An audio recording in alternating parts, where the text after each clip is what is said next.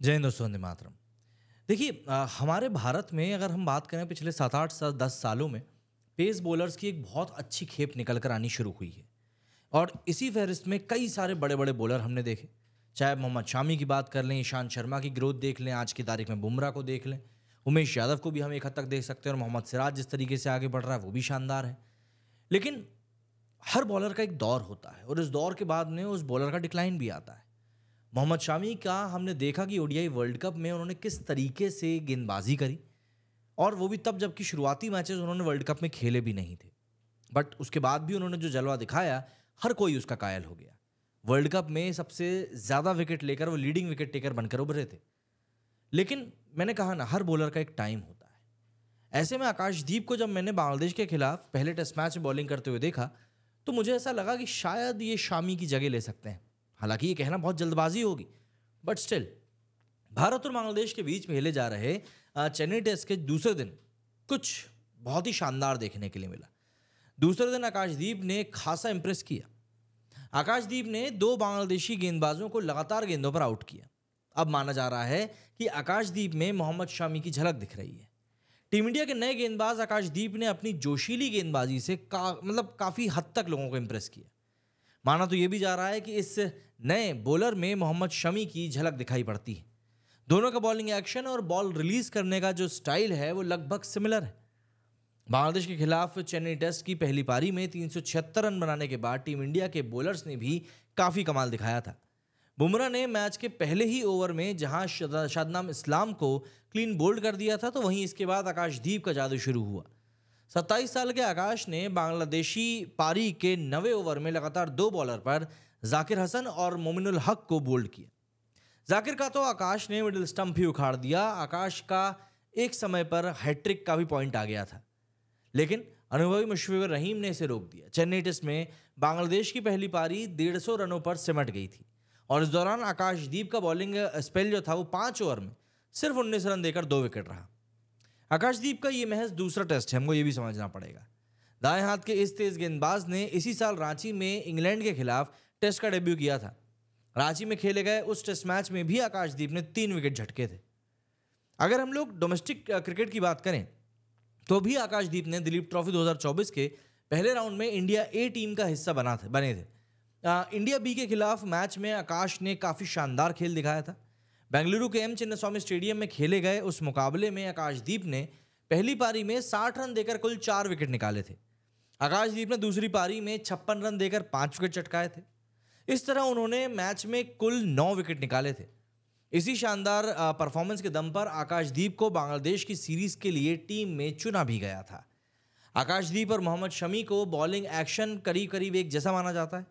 Ball की सीम position एक जैसी दिखती है। दोनों बंगाल से खेलते हैं। लेकिन अगर हम लोग बात करें तो मूलतः दोनों बंगाल के नहीं हैं। यहाँ तक कि सोशल मीडिया पर भी जो प्रशंसक हैं, वो दोनों की समानता वाले पोस्ट कर रहे हैं। बट वही है ना, चीज़ें तो समझनी पड़ेंगी।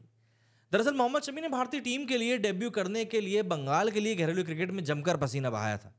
2010 से 2011 के बीच उन्होंने घरेलू लेवल पर बंगाल के लिए फ़र्स्ट क्लास लिस्ट और टी ट्वेंटी मैचेस में डेब्यू किया था। शमी यूपी के अमरोहा के सहसपुर के रहने वाले हैं।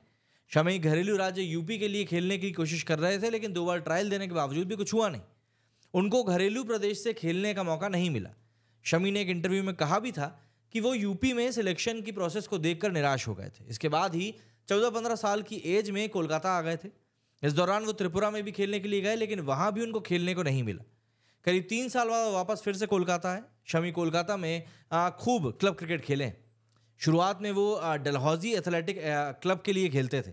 एक बार उनकी गेंदबाजी बंगाल क्रिकेट एसोसिएशन के पूर्व असिस्टेंट सेक्रेटरी देवदत्त दाउस ने देखी। वो शमी की गेंदबाजी से काफ़ी इंप्रेस हुए और उन्हें अपने क्लब टाउन क्लब में शामिल होने के लिए कहा।